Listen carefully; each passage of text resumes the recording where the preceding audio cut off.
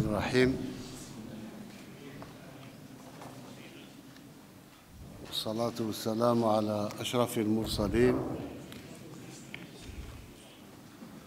أرحب مجددا بفخامة الرئيس راجب طيب أردوغان في الجزائر.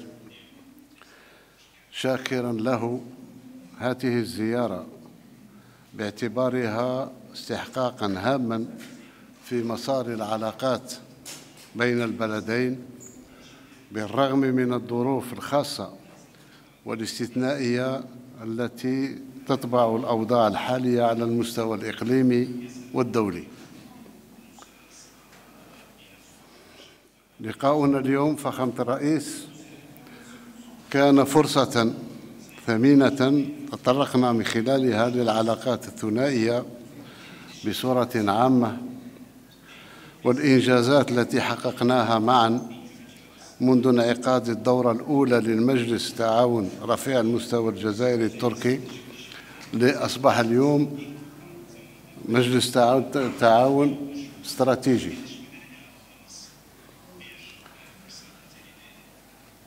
وإذا كان لنا بعد هذا اللقاء المستثمر أن نجري تقييما لعلاقتنا الجزائرية التركية بمناسبة انعقاد هذه الدورة فإننا نقول وبكل ثقة وصدق بأنها علاقات قوية وذات آفاق مفتوحة على المزيد من التعاون نظرا للإرادة السياسية الصادقة في الجزائر وتركيا. ولدينا ديناميكية في التعاون الاقتصادي والتبادل التجاري الذي شهد تطورا متزايدا في السنوات الأخيرة يعكسه حجم التبادلات التجارية حيث بلغ أكثر من خمس ملايير دولار خلال سنة 2022 ويتجاوز 6 ملايير دولار في سنة 2023 وأصبحنا بهذا مع أشقائنا الأتراك ثاني شريك تجاري في إفريقيا بالنسبة لتركيا. والوجه الاولى والوجهة الأولى للاستثمار التركي في إفريقيا.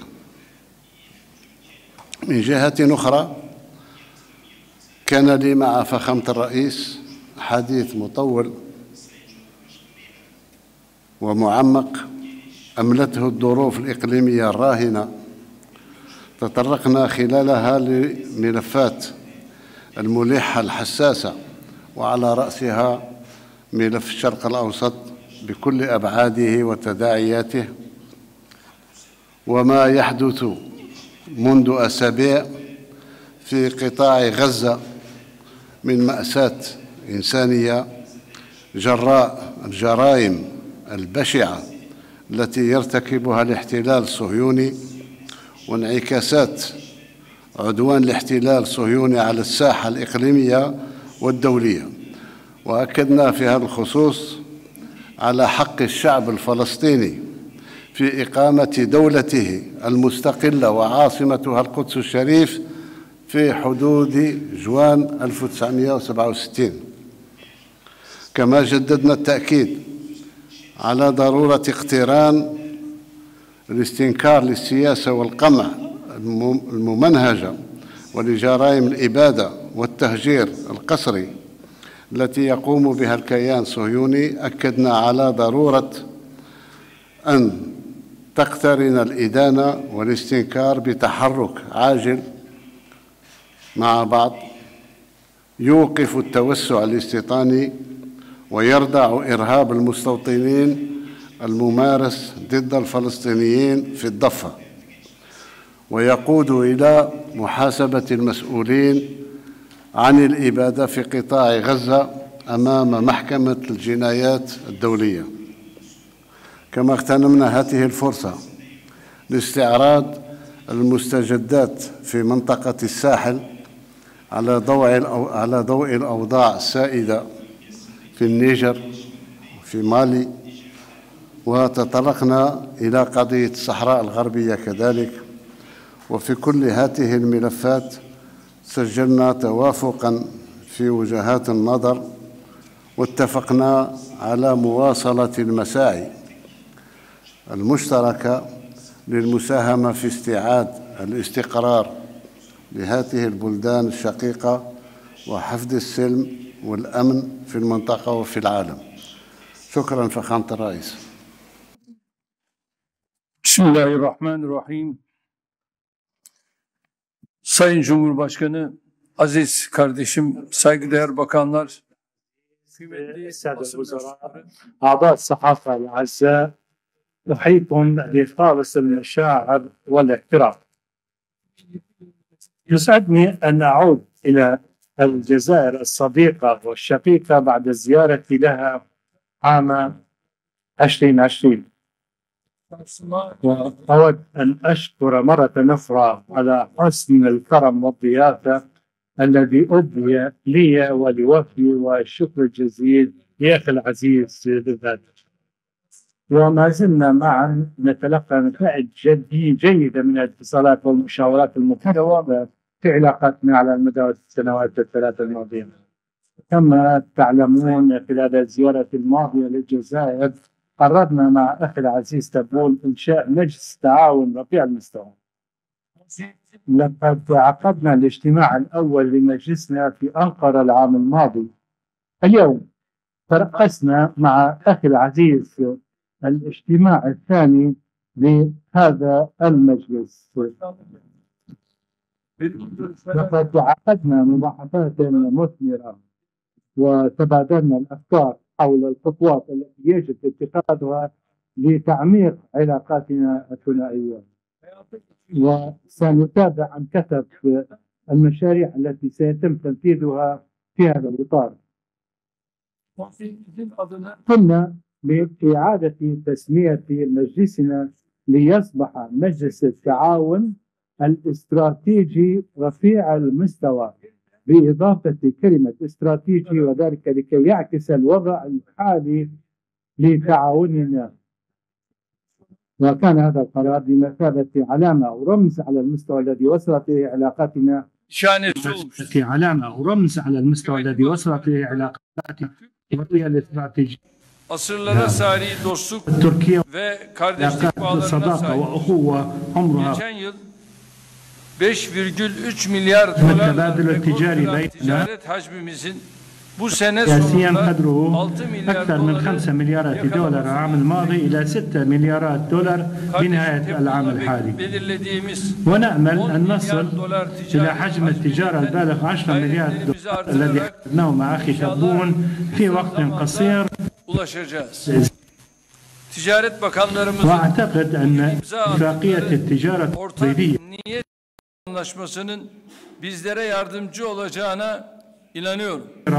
في هذه الجهود Cezayir'in Tebbun kardeşimin نحن liderliğinde معجبون بجهود الجزائر لتعبئة إمكاناتها الاقتصادية من خلال تنويع أنشطتها تحت قيادة أخي 1400 civarında Türk firması تدعم حوالي 1400 شركة تركية هذه العملية şirketlerimizin Cezayir'de وفخورون بأن hidrokarbon harici sektörlerdeki en yatırımcı ve istihdam sağlayıcısı olmasıyla iftihar ediyoruz.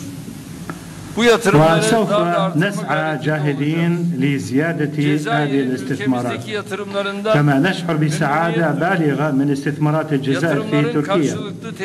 ولا شك أن التوقيع على اتفاقية التشجيع والحماية المتبادلة للاستثمارات في أقرب وقت ممكن. سيدعم أنه من لمن دواعي فخرنا أن شركات المقاولات لدينا. لديها حصة كبيرة في استثمارات البنية التحتية في الجزائر لقد حصل عين على التراخيص اللازمة. لفتح فرع في الجزائر تطور مساهمة كبيرة في تعاوننا الاقتصادي والتجاري ونرغب في علاقاتنا في مجال الطاقة والطاقة المتجددة من خلال تنويعها بشراكات جديدة. عقد الغاز المبرم بين شركة بوتاش التركية وسوناتراك الجزائرية مثالا جيدا على ذلك. لقد قمنا بتسريع إكمال العمليات المتعلقة أيضا فيما يتعلق بمجالات الصناعة الدفاعية أيضا وما هي الأعمال التي يمكن أن ننجزها وقد قمنا بتبادل الآراء حول ذلك. وأيضا قمنا بتسريع جهودنا لإكمال العمليات المتعلقة بافتتاح مركز يونس أمر الثقافي التركي في الجزائر والمركز الثقافي الجزائري في تركيا في أقرب وقت. Cezayir و- atasözünün de ifade كما ettiği يقول المثل أيضا gayret هنا eder, المرء يدبر tamamlar. والله يقدر. İşbirliğimizi سنواصل جهودنا لتطوير تعاوننا في كل المجالات انطلاقا من هذا الشعار في الفترة المقبلة. değerli misafirler, أعزائي الحضور kardeşimle أعزائي الضيوف Filistin'de yaşanan ومن الطبيعي أن تكون. المأساة في فلسطين محور محادثتنا. Filistin davası en güçlü, en samimi desteği veren ülkeler arasında فيها في مرآة الضمير نقدر موقف الجزائر الصادق والحازم بشأن هذه القضية ونحن أيضا نقدر هذا الموقف الجزائري كثيرا ولا نقبل بأي حال من الأحوال الهجمات الإسرائيلية التي تتحول إلى. عقاب جماعي وتشكل جرائم حرب إن استهداف الأماكن التي يجب حمايتها في جميع الظروف مثل المستشفى koşulda ودور العبادة وإجبار الناس على الهجرة لا يتوافق مع الضمير ولا مع. القانون وهذا وحشية ateşkesin أولوياتنا هي التوصل إلى وقف إطلاق النار في أقرب وقت ممكن وضمان إيصال المساعدات الإنسانية إلى المنطقة دون عوائق haberleri جهودنا في هذا الاتجاه. ونحن نراقب ما ينعكس على الصحافة. ونحن. نريد أن نقدم جهودنا في هذا الاتجاه بشكل مكثف. ولا يمكن إحلال السلام والاستقرار الدائمين في منطقتنا دون التوصل إلى حل سياسي عادل للقضية 1967 الفلسطينية إن إنشاء دولة دولة فلسطينية ضمن حدود عام 1967 وعاصمتها القدس الشرقية أصبح الآن أمرا.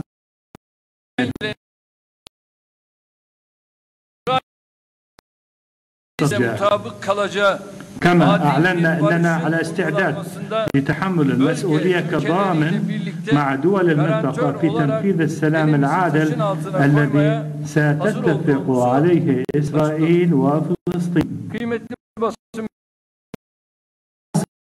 لقد عززنا أساس عقدي لعلاقاتنا الثنائية الاتفاقيات التي وقعناها قبل قليل في مختلف المجالات. وقد وقعنا على 13 عقد أو مذكرة تفاهم واتفاقية. لتكون بادرة خير. كل هذه المبادرات سنواصل جهودنا لاتخاذ خطوات إضافية في جميع جوانب علاقاتنا من التجارة إلى الطاقة ومن البيئة إلى الثقافة. وبهذه الأفكار أود أن أشكر جميع إخوتنا الجزائريين وخاصة الرئيس تبون أخي العزيز على حسن ضيافتهم وكرم الضيافة. مرة أخرى شكرا لكم. وأمل أن تكون مشاورتنا القرارات التي نتخذها بادرة خير وأحييكم جميعا بكل احترام شكرا لكم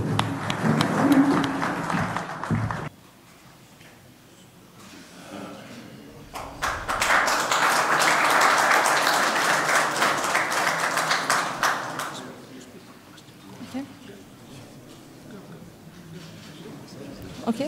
Sabah gazetesi Fatma Gökstor Efendim sorun Sayın Cumhurbaşkanımıza olacak.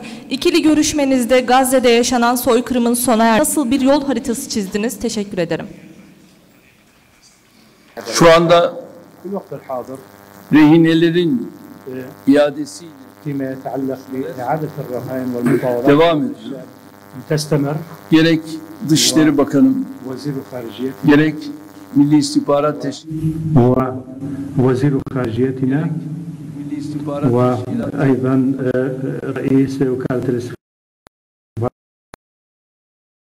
مع جانب القطري فإنهم يواصلون بحثات في هذا المسار ونتمنى بأن يتم تبادل الأسرى وأن نأخذ النتيجة بهذا الاتجاه. نحن في نستمر ونتوقع بأننا سنصل إلى نتائج إيجابية.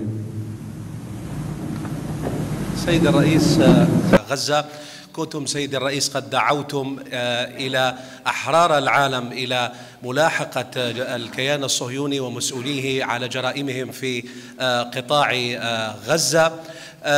هذه الدعوة نالت استحسان الكثير من الدول على ما يبدو. بدليل أن العديد من الدول انضمت إليها والعديد من المنظمات والهيئات الحقوقية والإنسانية. سيد الرئيس هل تتوقعون انضمام دول أخرى إلى هذه المبادرة؟ شكرا.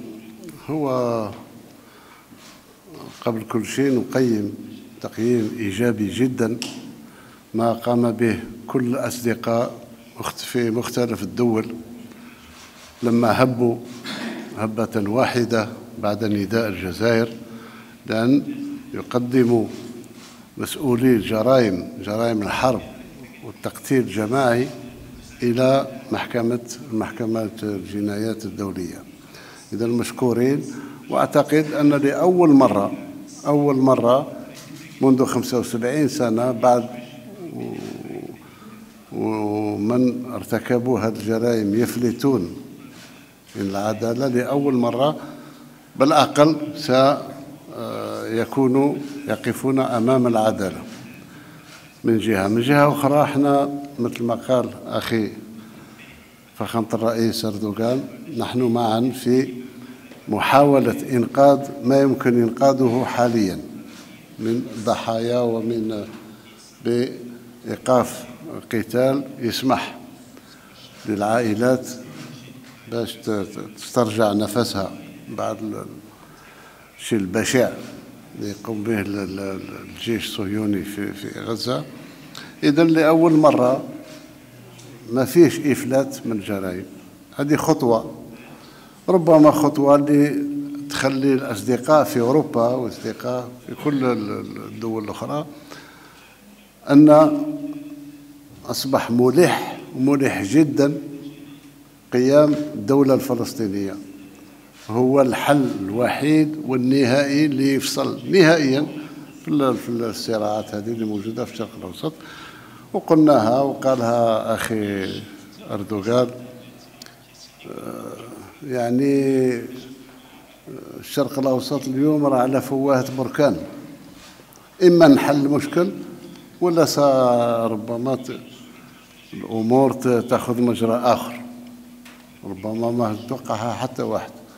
ونتمنى إن شاء الله ينتهي العدوان على الفلسطينيين وتكون لهم دولتهم المستقلة إن شاء الله. إحنا كنا بدأنا قبل مثل ما ذكرها لي أخي أردوغان كنا متوقعين مش متوقعين الجرائم اللي هتوقع اليوم ضد غزة ولكن عرفنا باللي وتيقنا مثل ما تيقنت تركيا الشقيقة على أن حل الفلسطيني يبدأ أولا بالمصالحة بين فصائل فلسطينية وصلنا إلى حد كان ممكن يدينا إلى أبعد ذلك. مع الأسف توقفت الأمور ومش إحنا السبب. الله شاهد. نتمنى إن شاء الله باش نعاودوا نسترجعوا اللحمة تاع الفلسطينيين كلهم بكل فصائلهم. ونصل إلى فرض كيان آه، إنشاء الدولة الفلسطينية في حدود جوان 67 وعاصمتها القدس الشريف. وشكرا.